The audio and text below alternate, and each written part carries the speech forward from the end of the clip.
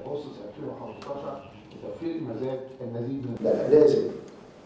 نسوي نفسنا ونقعد مع اليوزرز أو المستخدمين ونسمع منهم يسمعوا مننا عشان نصل إلى أحسن استخدام لقناة السويس اللي يحقق أحسن عائدات لقناة السويس ويخدم حركة الملاحة العالمية.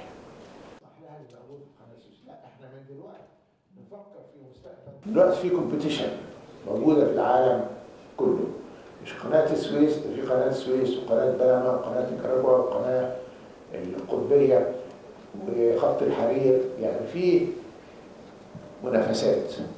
وكله يستعد للمستقبل النا- النقل البحري بقى العمود الفقري للاقتصاد العالمي. لازم ندرس اللي بيتم حوالينا ونحاول إن إحنا نكون اتراكتيف أو كاذبين مرور السفن في قناة السويس.